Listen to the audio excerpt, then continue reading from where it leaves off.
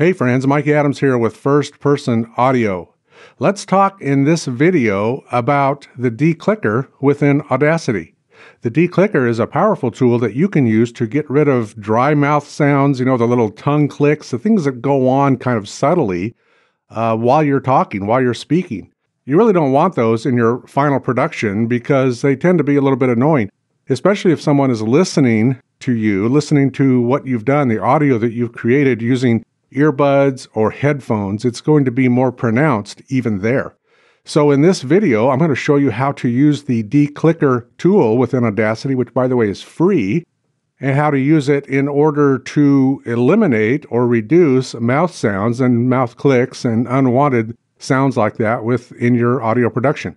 Before we start, I want to mention that if you're not wearing headphones or a good set of earbuds, you might want to pause this video right now and take care of that. Put on some headphones, put on some good earbuds because you're going to hear better what's going on using those than you will with a regular computer speaker or, you know, a speaker in your phone or whatever you're listening to this on.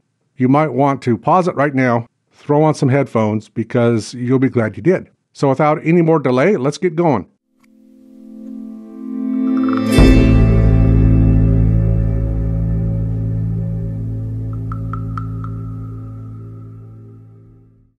In this screen that I've got open here, I have two audio files that are identical.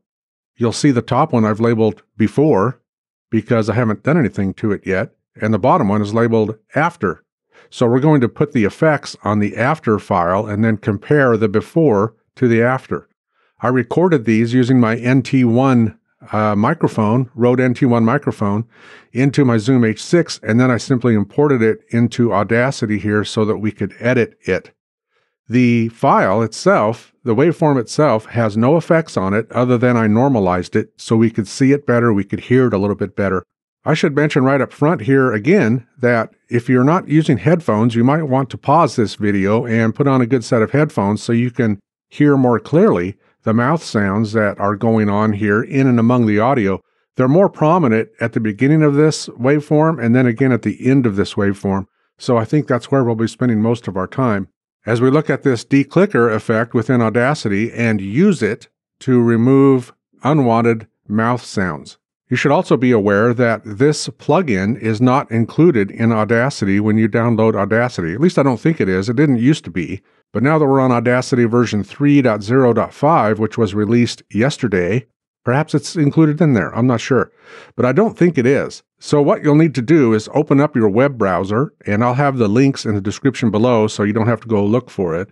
But open up your web browser, and first of all, go to the Audacity forum website, and I'll have this address again for you to simplify your process. And once you get here to this website, scroll down to where you see the declicker.ny and deesser.ny. You can download both of those and install them in your Audacity program and then enable them, and you'll have both of those plugins. In this video, we're just talking about the declicker, but we can come back another time and talk about the deesser. If you're unsure once you download this, if you're unsure how to install it, here's some instructions from Audacity on how to install these plugins, and I'll have this link down below as well in case you need it. But let's go back to my Audacity screen here. And once you get the declicker installed on your computer, you're going to want to come up to the effects drop down window and you should see it right here. Now, this first group of, of um, plugins is what's normally included with Audacity when you download Audacity for the first time. And you can see there's a divider line right here. I'm running a Mac, so I have these audio unit plugins available to me as well, and there are several of those. They begin with AU.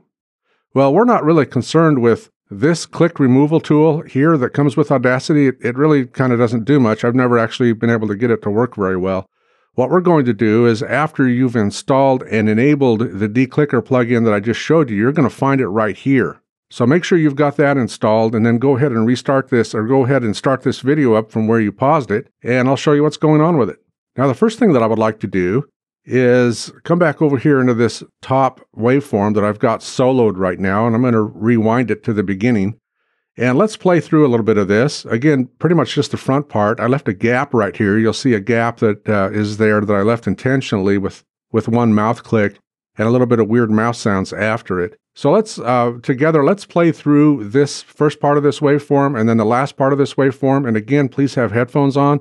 You'll hear the mouth clicks, you'll hear the mouth noises better that way. And especially when we fix it, you'll be able to tell the difference. So I'm going to push spacebar to play a little bit of this. This is the audio track that I'm using to illustrate and demonstrate the declicker that's available within Audacity for free. I'm speaking to you through my Rode NT1 mic, which is a condenser mic which picks up everything in the room, all the so what you heard there, especially here at the beginning when I said declicker, it kind of put in some weird mouth sounds. And again, right around in this area right here, I got some strange mouth sounds. If we come here toward the end, let's see what it sounds like.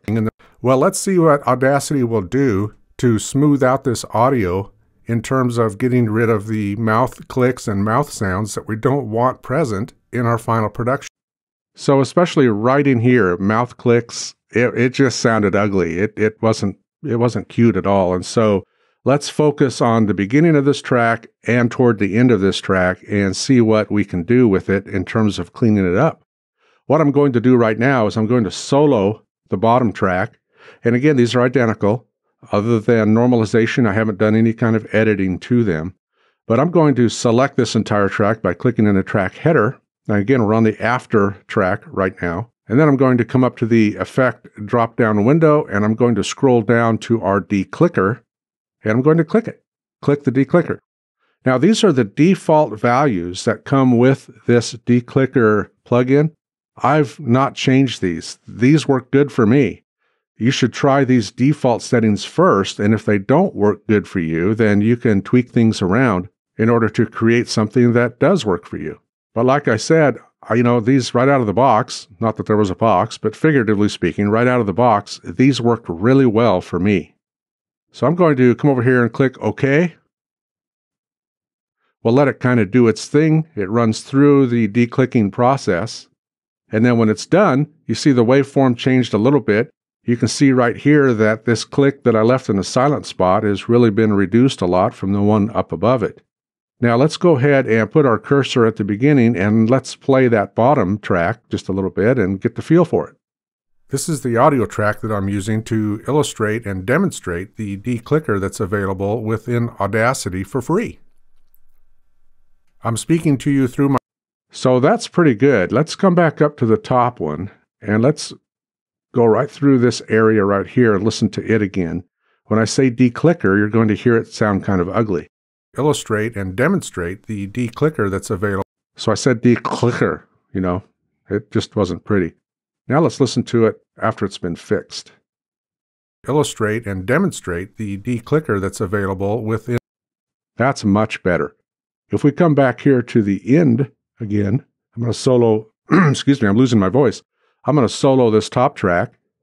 And let's start right about here and listen to it again here at the end. To smooth out this audio in terms of getting rid of the mouth clicks and mouth sounds that we don't want present in our final production.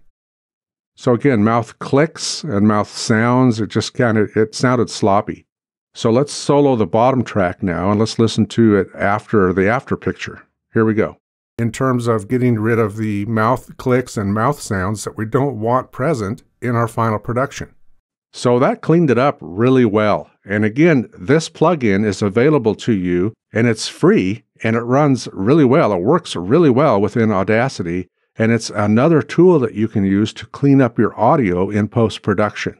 So that's the power of the declicker tool within Audacity, which again is a free plugin it will make your audio production just that much sweeter and sound that much better.